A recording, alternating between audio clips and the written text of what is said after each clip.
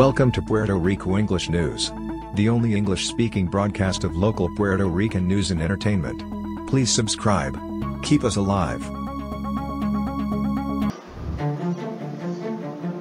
Saturday, November 5th, a group of tourists found themselves trapped by rising floodwaters as they attempted to hike to the Las Tinajas waterfall in Ceiba, Puerto Rico.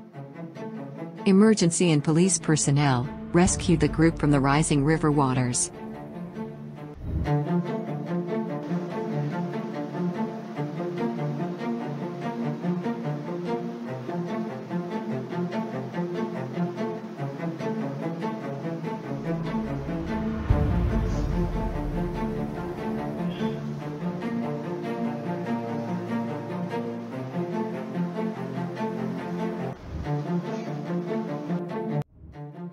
A Puerto Rico resident took this video of flash flooding in Ciales, Utuado, and the Lagos Dos Bocas Dam in Arecibo this past weekend.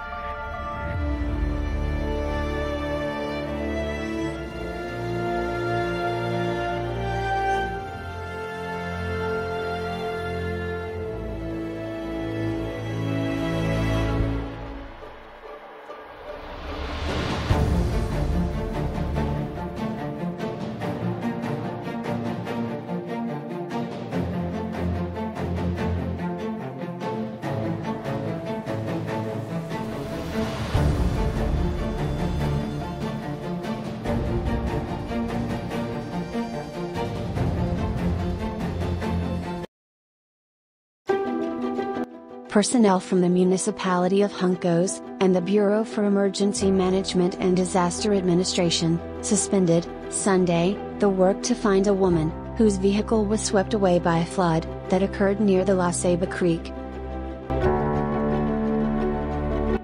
Rescue personnel found the vehicle, a gray Toyota Yaris, tilted on the driver's side, but the driver was not inside. Divers from the Urban Search and Rescue Group, and emergency personnel from the area, carried out a search of the entire area, to find the woman. A group went down the ravine, to look for the woman, both in the water and on the banks. We hope it stops raining, so they can continue their search. When they found the vehicle, the window on the passenger side, was open, as was the trunk, the mayor reported to the media. Mayor Alfredo Alejandro Carrion, told the press that the missing woman, who lives in the Los Piñas neighborhood, is 47 years old, a nursing student and has two young daughters. November 6th, a 21-year-old man was killed, last Wednesday, in an incident reported on Calle Comercio de Morovis, the police bureau stated.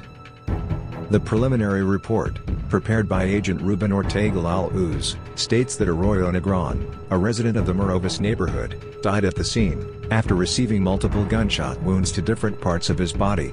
Officer seized a firearm, and found multiple shell casings. Wednesday, November 2nd, a man was murdered, and a woman was shot and wounded, in events reported Wednesday afternoon, at the Sagrado Corazon urban train station, in Santurce, the police bureau reported, a call to the 911 emergency system, alerted to shots fired at the scene. Upon arrival, authorities found the body of 21-year-old Christian Rojas Ramirez, who died at the scene, after receiving multiple gunshot wounds. The police indicated that a 63-year-old woman, a bystander, was also shot. She fled inside, where employees assisted her. Friday, November 4th, a man was murdered on Friday afternoon, inside a residence, on Santa Narcissa Street, in the College Park neighborhood, in San Juan, reported the press office of the police bureau. According to the preliminary investigation, the young man, identified as Christopher Vega Rivera, 23, was on the balcony of the property, when he was shot to death. The events were reported at 2.19 p.m. The authorities are still investigating the motive for the crime. Saturday, November 5, the naked body of a man, with several bullet wounds, was found Saturday, on the PR 149 highway, near the Cielitos neighborhood, in Ciales, reported the police bureau. The deceased was described as having a white complexion, black hair, brown eyes, between 35 and 40 years old, about 5 feet 8 inches tall, and weighing approximately 170 pounds. He was only wearing a tennis shoe on his left foot, a red Nike brand, and black socks. Sunday, November 6th, a minor, under 17 years of age, was murdered, in the middle of a robbery, that occurred at around 4.12 am, Sunday, on the PR 866 highway, in Toa Baja, reported the police bureau. According to the preliminary report, the authorities received an alert of shots fired in the area. Later, the minor was taken, in critical condition, to a hospital in Bayamon, where they certified her death. The teenager had a gunshot wound to her side torso. Related to these events, agents from the Puerto Nuevo precinct placed a person under arrest and seized a vehicle and a firearm. The authorities confirmed that the detainee is the suspect in the robbery, where the young woman was fatally wounded. Sunday, November 6, the body of the woman, partially nude and with her face covered, was found Sunday morning. The body was located on the pavement, near the Hogar Frida Mujeres, a women's shelter in Rio Piedras, reported the police bureau. At the moment, the deceased has not been identified by the authorities, but was described as black complexion, brown hair, approximately 5 feet and an inch tall, with tattoos on her back, left hand and right leg. She was wearing gray underwear, and a long sleeved black shirt. The corpse had a wound on the left side of the forehead, and another on the right side of the head, in addition to lacerations on both knees. Monday, November 7th, authorities are investigating the discovery of a 53 year old woman's body, on the side of the road, in the Tibes neighborhood, in Ponce, Puerto Rico. Captain Daniel Justiniano, director of the Ponce Criminal Investigation Corps, indicated that the woman's car was found in the parking lot of the CVS pharmacy, near the Aristides Chavier residential complex. The body did not show signs of violence, the body was taken to the Institute of Forensic Sciences, and we will wait for the autopsy, to find out the cause of death, said Justiniano. It was classified, for the moment, as a death without a determined cause, because it could not be seen, at the time, if it was a violent death. The captain stressed that, as in other CVS pharmacies, there are security cameras where the car was found, so they are in the process of verifying the video recordings. Monday, November 7th, the trial continues for two of the remaining seven defendants charged in the $9 million fraud conspiracy against the city of Mayagüez, Puerto Rico.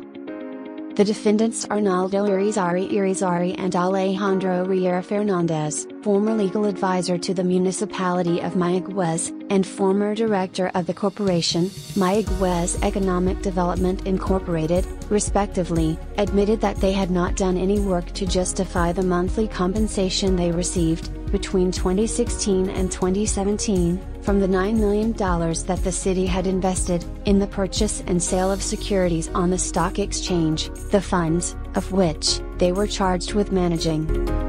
At least, that's what the 10th witness for the federal prosecution, in the fraud case against the defendants, alleged last week. FBI agent Daniel Crecelius, who began his current position in 2016, and two years later, interviewed both defendants, as part of the criminal investigation related to the multi-million dollar scam. The defendants allegedly received at least $150,000 each, from transfers from another entity, formed by the former administrative consultant, Eugenio Garcia Jimenez, who has already pleaded guilty, to conspiring to commit fraud against the municipal government. The lawyer, who legally represents the former mayor of Humacao, Reynaldo Rey Vargas Rodriguez, in the case for which he is accused of public corruption, stated that he would be willing to evaluate with his client any offer proposed by the federal prosecutor's office to plead guilty. Vargas Rodriguez, 48, is charged with three counts of conspiracy, committing bribery to receive kickbacks, and extortion. For these accusations, he pleaded not guilty. The former mayor was arrested in the early hours of May 5 by agents of the Federal Bureau of Investigation, after a federal grand jury accused him of a public corruption scheme, for which he would have received approximately $15,000, in exchange for awarding city contracts. The former executive assistant to the former mayor of Trujillo Alto, Radamés Benitez Cardona, will plead guilty to public corruption, his defense attorney reported Thursday, through a motion, in which he requested a hearing to change the guilty plea. In exchange for a minimum sentence of 30 months in prison, as the defense will suggest, or 46 months, which will be the sentence that the prosecutor will recommend.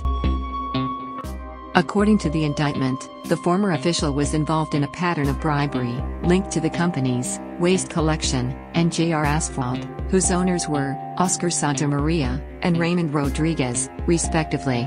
The two businessmen pleaded guilty to the charges against them. After the passage of Hurricane Fiona, on September 18, environmental organizations took on the task of restoring the coral reefs, affected by the atmospheric phenomenon, that otherwise, would not have survived, without their intervention. 30 volunteers, from the Marine Environment Society organization, managed to rescue, and replant, more than 5,000 coral fragments, during the first weeks after the hurricane, on the Culebra Island municipality. Hurricanes are something that have always existed, but the increase in frequency and strength has changed, so the effect is much greater, said Samuel Suleiman, president of the agency. The force of the wind is great, but the force of the water is much greater, because it is denser, Suleiman added, noting that changes in the tidal wave affect ecosystems by uprooting and breaking a large number of corals that have been restored over the years. The Plaza Las Americas and Plaza del Caribe shopping centers will kick off the Christmas season on Friday, November 11, 2022.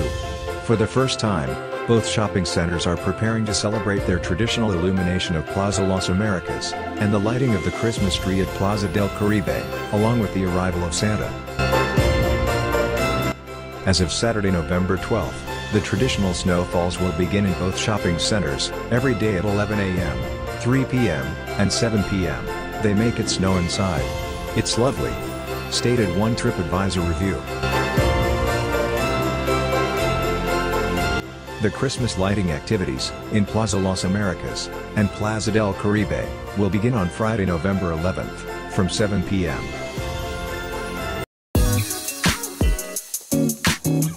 Thanks for watching. Here's your weather for the week. Be sure and follow us on Facebook or Twitter for up-to-date news, weather, entertainment, tourism, viral videos and more.